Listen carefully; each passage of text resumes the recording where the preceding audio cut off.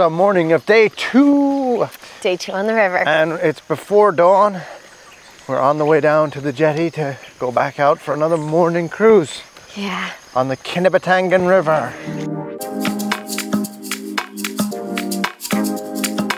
What are you hoping to see today? Elephants. Elephants? Yeah. And orangutan? Yeah, we saw two orangutans yesterday, and I'm But it was- still like processing that. Like, I don't know how we got so lucky. I love orangutans. This morning we're going to head back downstream to where we saw the orangutan yesterday and hopefully that they're more active this morning looking for some breakfast. The first thing we spotted was a tiny crocodile perched on the riverbank. But he did not like us getting too close.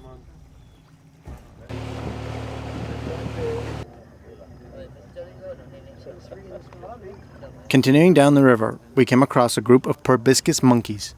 Borneo is the only place in the world you can find proboscis monkeys in the wild. They are easily identified by the male's uniquely large nose and pot bellies. Quite strange looking monkeys. There are several groups that live along this stretch of river, and they come to the riverbanks daily to eat the fruit from the trees.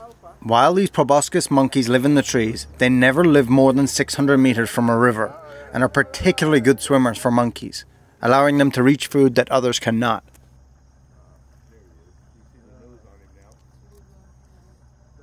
We just got to the spot where the orangutan were in their nest, but they're still in their nest sleeping. So we're going to carry on downriver and then maybe come back up afterwards. Hopefully they'll be awake. We then spotted another larger crocodile who was equally as shy as the smaller one.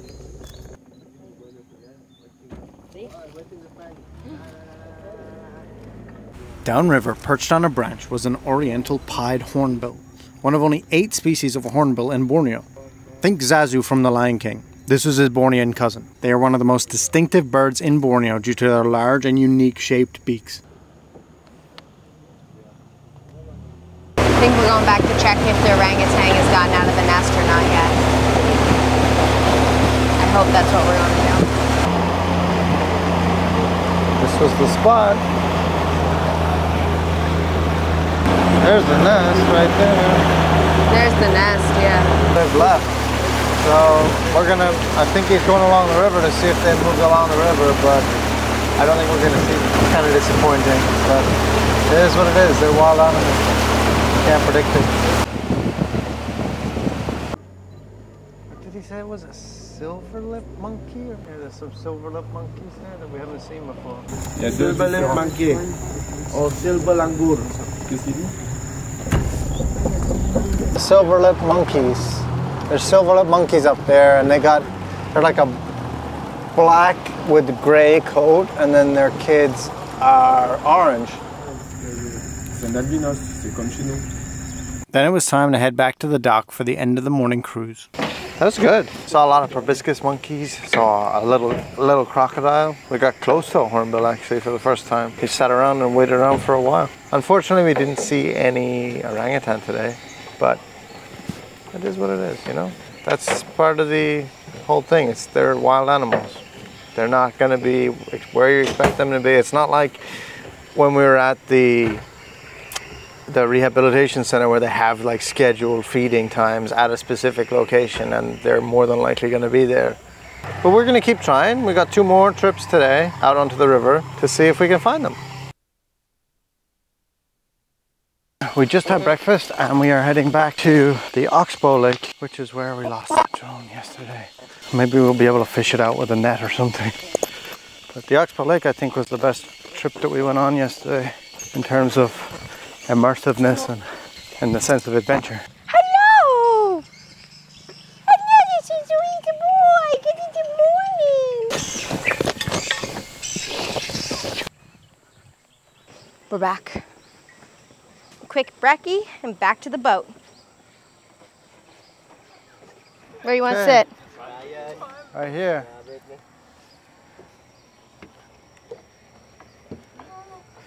Good. I'm YouTuber. My name is Aslan. I'm the king of the jungle. Petrol for engine. Yeah. You got that one too?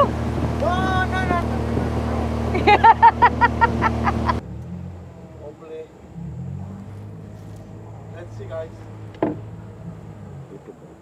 All right, everyone. So this is the small river. ah. So this small river, they are connecting from the main river until go inside the lake. The water is much lower today than it was yesterday. And there's a lot more weight in the boat. So hopefully we can make it through. We're in the Amazon. We're not in the Amazon. We're in Borneo. the Amazon would be equally believable. Yeah, I know. This time we had eyes watching us from the trees, seeing what we were up to.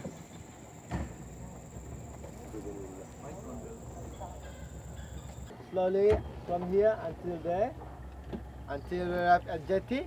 After that, we will do the trekking and the jungle. To the jungle. That's where my drone is.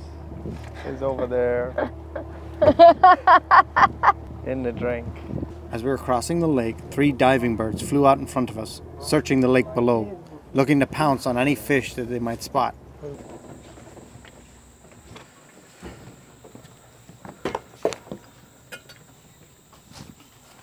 think he's gonna go check to see if he can find the drone. Yeah. He has a mop with him. To feel at the bottom for it. Yeah. He told him what tree it fell on. Yeah. If he does find it, I'd just be happy to get the footage back. I think the drone is more than dead at this point. Our guide explained to us that these prickly vines used to be used as security at people's homes in their villages to put around the home and around their gardens as like a fence because if the monkeys try to get in and take all the food that's growing, prick their hand.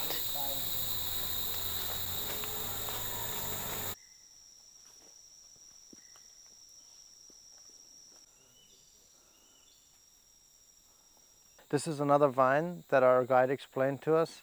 It's called the Liliana vine. And in the olden days, the Bornean people, they didn't have any way of storing water or carrying water with them in the jungle. So they'd make cups out of bamboo to hold the water.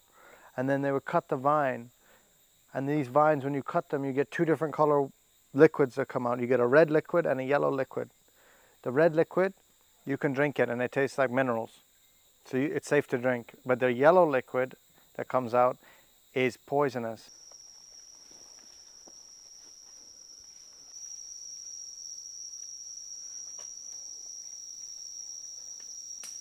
Oh, yeah. That's a big spider. Our guide then showed us the old fashioned Bornean way of sending an SOS signal in the jungle. By hitting this particular type of tree with a fallen branch, it acted like a drum, amplifying the sound throughout the jungle so the rest of the village would be able to find the lost person.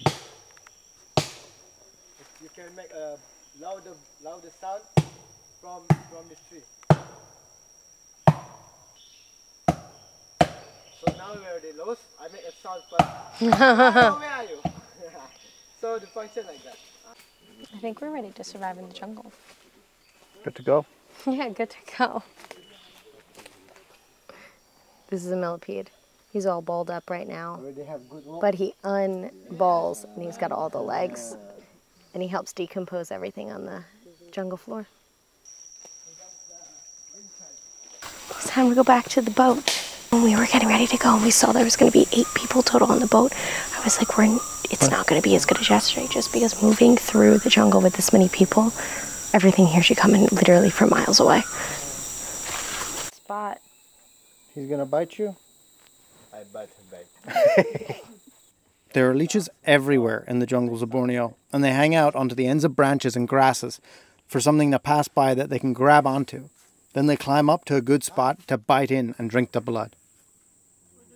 Then me and one of the guides went out looking for my drone that I crashed yesterday into the lake. The water in this area is nine foot deep and pure muddy, so you can't see to the bottom. We were feeling around with, a, with the end of a mop stick looking for it. I was not expecting him to jump into the lake looking for the drone. There's crocodiles in this lake. drone. You found it. we got a big stick and he put it down. It's about two meters down and he could feel it. And he jumped in. Where the stick, he put the stick right next to it and then jumped in and went down.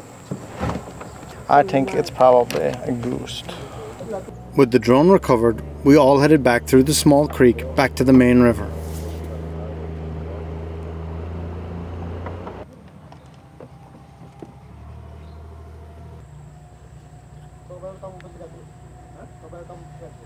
Is my favorite part of the whole thing is going through these little waterways.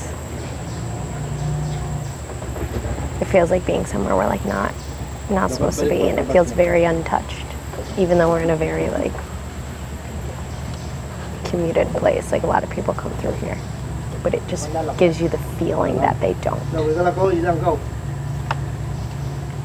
I love these little waterways so much.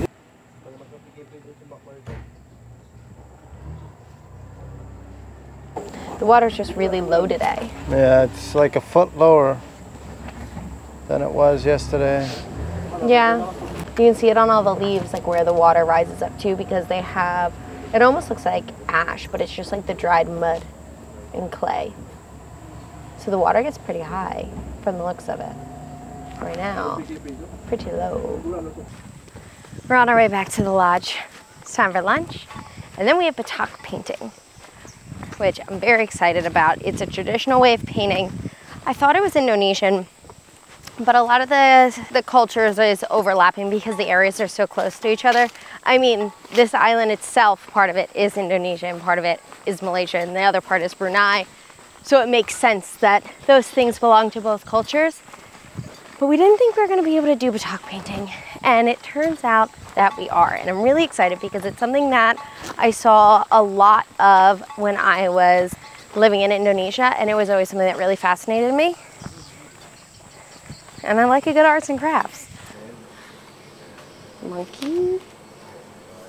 What do you want to do? I'm choosing a sample right now of what we're going to make. Oh, elephants. That looks hard.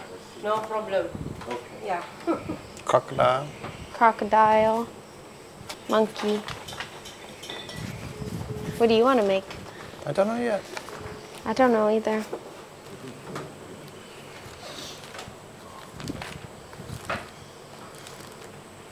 This is uh, still with the wax. Oh, with the wax. Oh, with the wax on it because they have to boil it off. Yeah, not yet. I'm having a hard time deciding. It's between the monkey with a rafflesia or a crocodile. Crocodile's overwhelming me, but I think I could do it. It's just the details. I could do it. I'm doing a hornbill, which is one of the, the birds that we saw here on, on our tours. See his little horn on his bill? You chose. Now we draw. All right, there you go. I'm gonna trick. Ah, yeah. Not my book. first time. Uh-huh. well, doing this, yeah, but tracing something, no. Smart. I'm a cheater. yeah. There's no book under right here, so it's kind of hard. In the nest. Oh, yeah. And Oops, sorry, baby.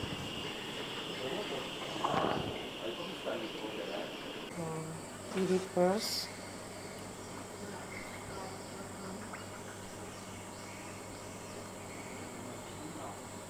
And wait for a second.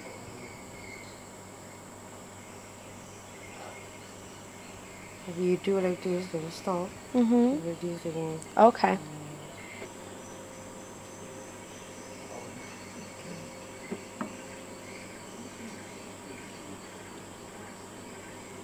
It means very hot, still very hot. Yeah. All right. This is when um, we mess everything up that we uh, just drew. but once it cools, you just have to not put it. You just have to be patient. I think. so not your strong suit then. You not try?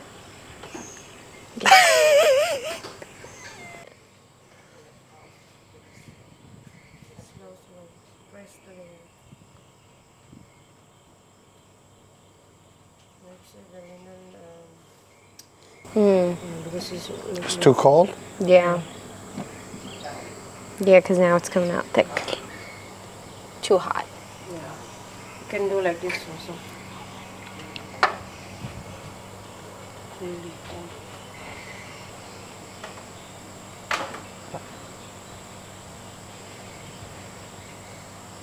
So how you feel about that little tiny bird that you made? Yeah, okay. You want to try? Yeah.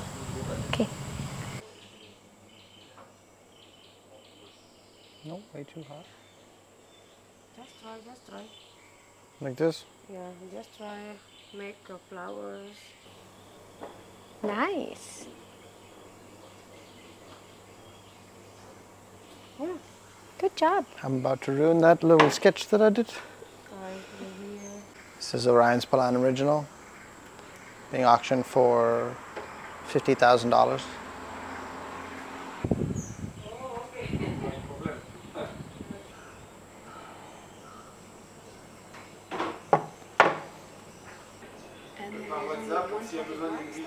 Yeah. Yeah. How's yours looking? I'm done. You're done? Done. Oh, I'm not done yet. I have finished putting on my wax. It's right here. Very difficult. Getting the temperature right is hard. He's not making it. He's not making the cut. Mm-mm. And this guy has a very thick line going down his back. But other than that, it's not too bad. And it, most of it got all the way through. So I'm hoping that it's gonna work. Brittany is the masterpiece maker over here. I'm not. Making that alligator, scary alligator, scary, scary. It's a crocodile. Crocodile, croc. I keep saying alligator. Crocodile. So our little stove top. That was our practice.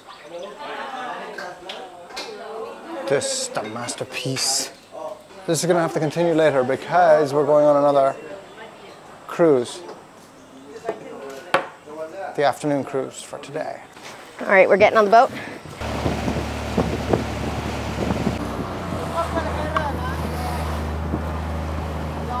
So there's some monkeys in the trees. There they are right there. You can see the bushes moving. Kind of monkeys, I wonder, rather than macaque. Something big in there. What do you look for when you're trying to spot the monkeys? Movement, usually. Like you see a branch move or something like that, and you'll see the monkey is jumping between branches or moving or picking berries or something. If they sit really still, it's hard to see them a lot of times, unless you know where they are. Longer exciting you? No, I want to see an orangutan. I see a monkey everywhere.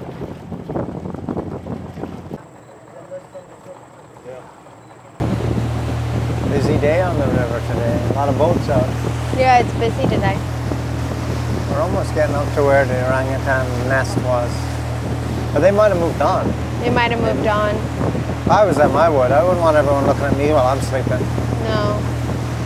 Eagle, though, Oh yeah, pretty eagle. circling, Circling behind. looking for food. Oh yeah, look. Yeah, there you go.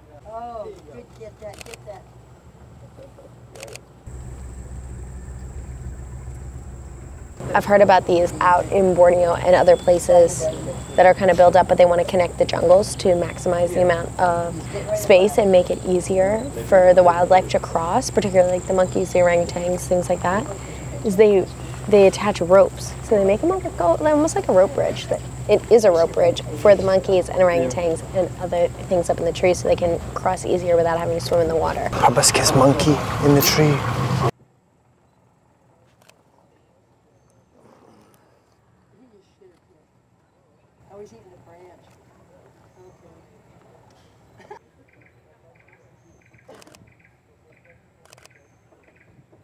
We're looking at the proboscis monkeys, and there's two types of groups. The first one is a harem group, and it's one big alpha male and like 10, 15 females. The other one is all bachelors. And the bachelor group is harder to find. There's you don't see them as much usually. They're deeper in the forest. So this is the bachelor group we're looking at right now in the big tree. It's the first group of bachelors that we've seen. Little babies. Little baby proboscis monkeys are in the tree up there. There's a big Alpha He's male. the king. He's the king of the, he's the king of this group. The alpha male. Yeah. Big belly, huh? Big belly, big nose. Getting quite the angle of him. Quite the angle. It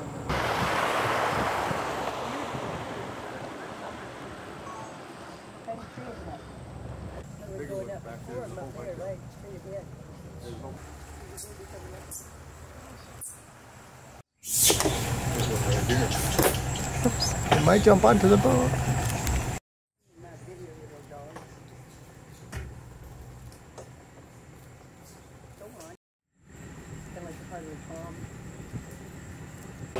Oh yeah, look at the baby right there. Right in front, right in front.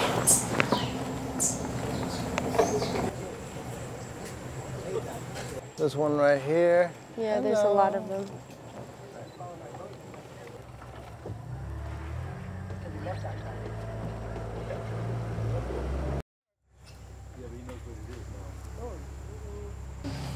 Bush mechanic. Some trouble?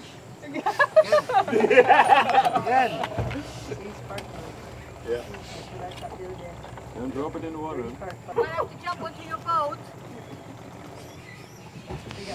See you tomorrow. One right above your head there. Yeah, just look up. Valerie, look out. Ini bawa belajar begitu. Right next to. The boat broke down Again. again. So now we're just stuck here with the monkeys. Yeah. Which could be good and it could be really bad. We'll make it back. I'm in no rush. Right, make a lot of video, make a lot of picture, huh? After this, while Peter going run, Oh, they're fighting. Fighting, fighting, fighting. You almost get involved in that. Female. Hmm. Oh, yeah. Fine as a tit.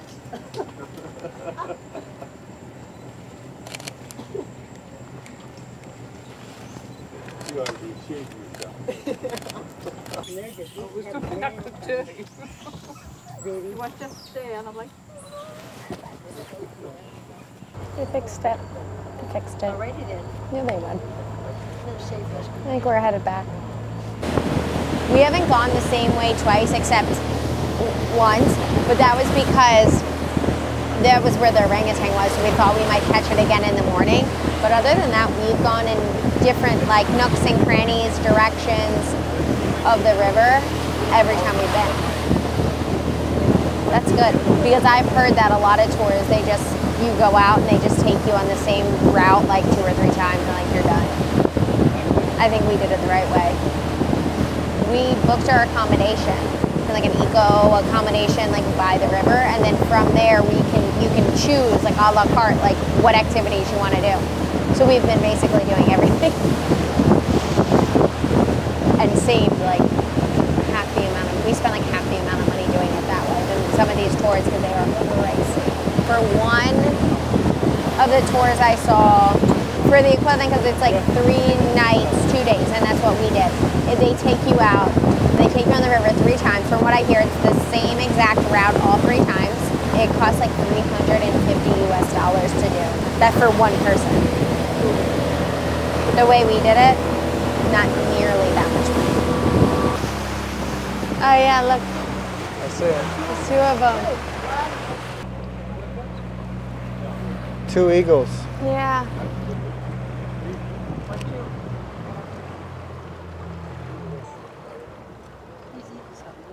Five days, eagle. So one of the most biggest eagle we have, Borneo. We just caught two eagles perched up in the chair in, in the chair in the tree. And they were sitting there for so long and they were so close. And when the one took off, she flew right by us. It was a nice way to end the evening cruise. We're back with our batik and we're gonna finish it up. I think they're looking good. I think I did better with the wax than I thought I was gonna do. It's not perfect, but It looks really good. you think? Yeah, Thanks, Pepe. I think so. Now was the time to apply the dyes to color the pictures we had outlined. The wax prevents the dye from spreading outside of where it's supposed to be. At least that's the idea, anyways. I think they came out really well in the end. We had to leave them overnight to dry before the wax could be melted out. The next day, we booked an additional morning tour on the river for a total of seven tours each. When we got back to the lodge, it was time to settle up our bill. The private room was 824 ringgit or $173 for three nights. Breakfast each day was included in the cost of the room. The river cruises cost 80 ringgit per person each tour, five cruises each for a total of 800 ringgit or $168. The Oxbow Lake treks were 70 ringgit per person each trip. We each did this twice for a total of 280 ringgit or $60. And we spent 210 ringgit or $44 on lunch and dinners. And finally, the batik paintings were 130 ringgit or $27 for both of us. Our grand total for our Kinabatangan adventure was $439 for two people, which sounds like a lot, but that's only because we did so many tours. We saw other companies charging much more for less tours. Our batik paintings. This is your one. Oh yeah, look at that. That's so cool.